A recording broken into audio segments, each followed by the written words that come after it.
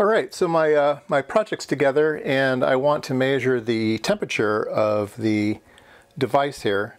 And uh, I was using my non-contact thermal sensor, which uh, puts out a laser to aim it, and then it captures some amount of the heat. And it's measuring, I don't know, right now it's measuring like 54 degrees or something like that centigrade. And uh, somebody mentioned, oh, you know, that laser is just the pointer, and this thing collects like 30 degrees worth of, uh, of, uh, of heat, and so it's not very accurate for pinpointing things. And so um, I have another temperature uh, sensor here that has a little uh, cup. It has a reflector cup, and we can use that.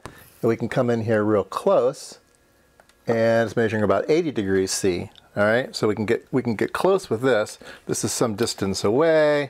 This thing, I just turned it on. This thing is now measuring like 57 degrees. This is measuring 80.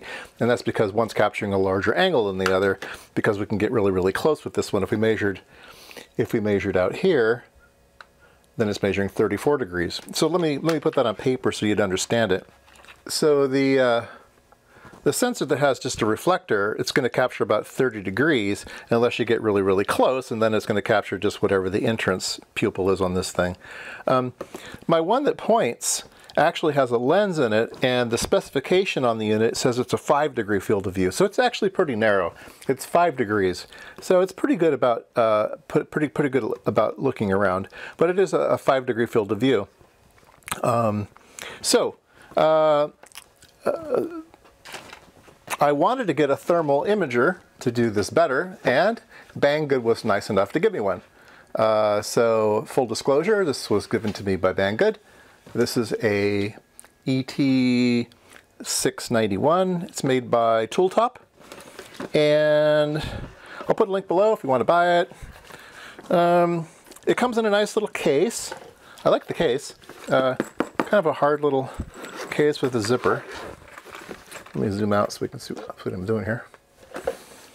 And uh, here is the here is the thermal imager. So we'll turn that on.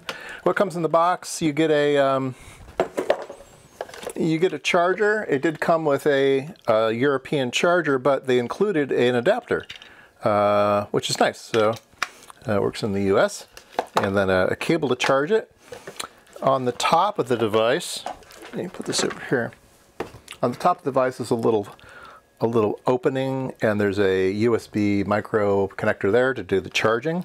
And there's also a little uh, micro USB card uh, to store images and stuff. It takes it can it can take and store images. Now this is a um, this is a nice design. I've seen other other. Let me pop this open. So this has a nice big rechargeable battery in it. One of those, what are they? Uh, I can't remember the number, 18650s or whatever. It's got a nice big rechargeable battery in it. It's supposed, to be good for four hours once it's all charged up. Um, and uh, some of them come with all double A's, and you're always replacing the double A's. So I like this design a lot better. Now this is a pretty low end unit, um, and you know the price is low end as well. But it uh, uh, you, there's a trigger here, and you pull the trigger, and the, the unit will turn on. It takes a second to turn on. And then, uh, let's see here, let's pop up here. So as we, as we look in here, we get all the glares off of it, you can see that we're getting a, getting, getting an image of what's going on here.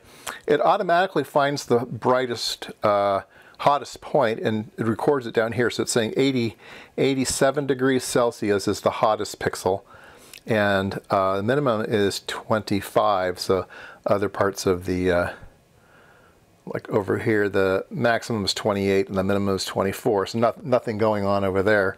So we have a, a nice a nice thing here. Now uh, the high-end units have a camera in them and they show the visible and the infrared at the same time. Uh, this lower end unit uh, compensates for that by when you press the trigger, uh, it turns on the the uh, video camera, eh, or the you know, and so if you like this picture, you hit this button. There's a cancel button and a, an accept button, and it uh, stores that on the card. So for every picture you take, you get the infrared picture and the visible picture, and then you can kind of compare them side by side. And uh, I'll show you some pictures here of what's going on.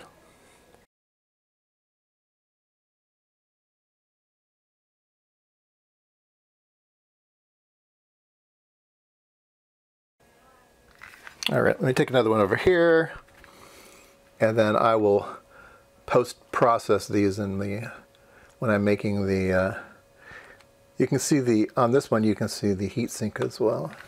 Okay, so like I said, it's pretty basic. Um, it has a menu system, and you can ch change some things in the menu. Um, you know, centigrade, Celsius. Uh, you, there's a, can, a, a, date, a date. You, you, can set the date. So when it timestamps everything. Um, you, you do the menu menu this way, you select it this way. You can change the language to English or Chinese or whatever. You can change the emissivity, uh, and and you can format the SD card and stuff. Anyway, change the default settings. It's all pretty standard stuff. Um, I won't go through the whole. Uh, I won't go through the whole thing here. Let's we can focus on, let me move the camera over here so it likes to focus on this thing. There we go. Um, so we can exit out of this as well. So you can change whether, what type of color gradient you want, uh, whether you want black and white, you want color and things like that. I mean, it's, it's all it's all very, very standard stuff. It tells you the battery condition here, so it says it's fully charged. Um, its uh, update rate is about uh, 9 frames a second or something like that. Um, it's fairly slow. Um, so there's a, uh, let's see here. There is the infrared lens here. It's probably a germanium lens or something. Uh, there's the infrared lens here. Uh, this is the, let's see, yeah, infrared lens. This is, I think, is the visible camera lens and it has a red filter in front of it, so it's only taking, well, that's not true. It does take, I don't know, it does look like it has, oh, I know. It has a filter on it, so it's, uh, the, the heat and stuff doesn't affect the camera, I think. I'm not quite sure about that. Anyway, it has an IR filter in front of it. Now, this one down here, is a lot of times when you're going around looking for things, like uh, we had air conditioning problems yesterday, it was over 100 degrees here, and I was using this to go around making sure the air conditioner was working good and stuff. So it, came in handy for that. Um, and, um, shit, what was I going to say? So if you're in a dark room, it's really hard to see what's going on. And when you take that uh, the, the, the visible picture, there's no light, and so it can't take a picture. So if you hold this button down for three seconds,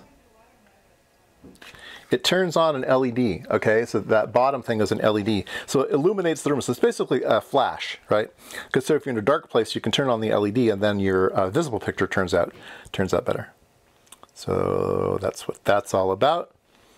Um, yeah, not much else to say about it. Um, Oh, I know what to say about it. Let's see. So remember that uh, I was complaining I didn't have enough resolution of what was going on, right? And let's go back to this drawing here. Right, so my old unit here was, was five degrees. Um, all right, so the way that these thermal imagers work is they actually have uh, pixels, right? And so you can imagine that these pixels are taking a picture, right? And this particular sensor is 32 by 32 pixels. So it's a pretty crude camera, right? It's 32 by 32, but each pixel is a, is a thermal sensor, right? So the unit is taking a picture about 30, 30 degree cone, but you have 32 pixels across that 30 degrees. So each pixel is seeing a one degree piece of the puzzle, right?